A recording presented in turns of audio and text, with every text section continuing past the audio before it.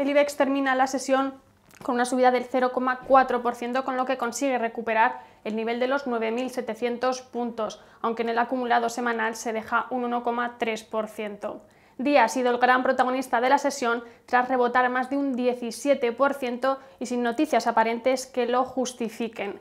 La cadena de supermercados ha marcado esta misma semana un nuevo mínimo histórico de cotización, aunque tras esta subida ha recuperado los 2 euros por acción. También en verde, aunque a mucha distancia de día, ha cerrado Ferrovial con una subida del 2,5% y ACS con una subida del 2%. En rojo apenas cinco valores de entre los que ha destacado IAG al dejarse un 2,5% tras presentar sus resultados trimestrales y a pesar de que ha anunciado que ganó un 25% más en el primer semestre de este año. Este viernes el mercado sigue muy pendiente de la guerra comercial entre Estados Unidos y China.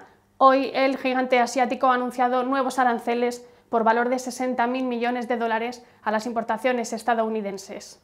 Pueden seguir informados en bolsamanía.com.